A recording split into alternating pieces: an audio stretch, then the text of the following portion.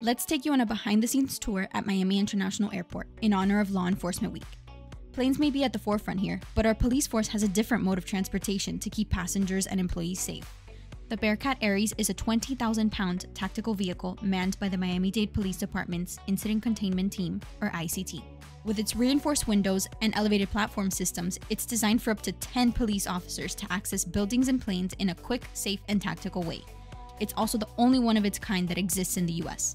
Like for more behind the scenes videos,